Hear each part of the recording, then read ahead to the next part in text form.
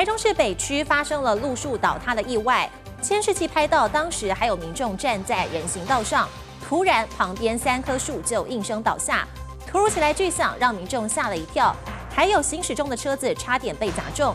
而警方初步勘查，应该是连日大雨造成土质松软，路树倒塌，也波及到了一辆汽车，还有三辆机车，还好没有民众受伤。监视器拍到，民众在路边突然一声巨响，旁边的三棵树竟然应声倒下。再看一次，一口气三棵树像说好的一样同时倒下来。事发突然，民众吓了一跳。镜头拉远看，路树倒下来占据了双线道，刚好有车开过来，还好及时刹住，后面的车辆也赶紧停车掉头。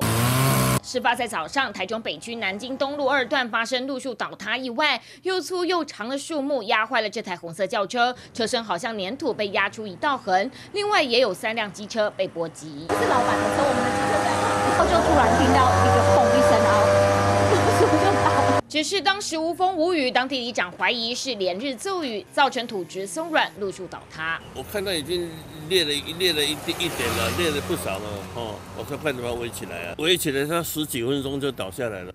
警方到场疏导交通，相关单位也赶紧派人来处理。其中一棵树根还在，只能先把它锯开，再拔除。再看一次这惊险画面，一整排路树中的这三棵像骨牌一样倒下，好险没有伤到人。记者中部这样报道。